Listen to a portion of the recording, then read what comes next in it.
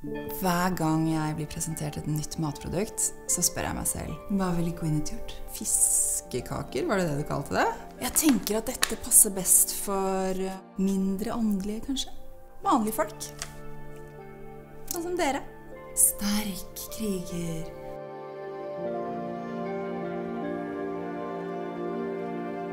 Rawfood-familier, vi spiser bare rawfood. Ubehandlet mat.